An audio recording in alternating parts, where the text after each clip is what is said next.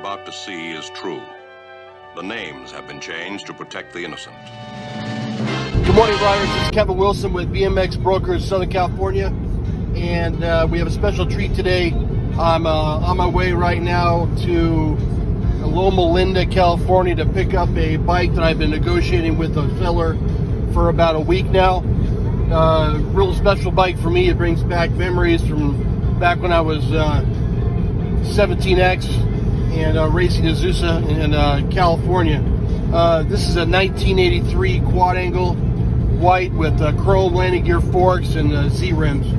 So the guy, the gentleman that I'm buying it from is a good guy. Unfortunately, he does not want to be on camera. So we're doing a little video now on the way over.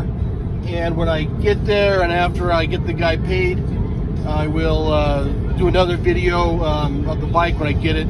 And then I'll post that following this video.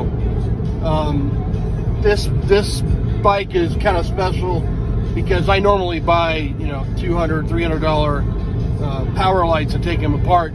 Um, this is by far the most expensive and most sought after bike that I've dealt with. So I'm excited and uh, hopefully you guys like it too. And, uh, you know, it will probably eventually end up being for sale.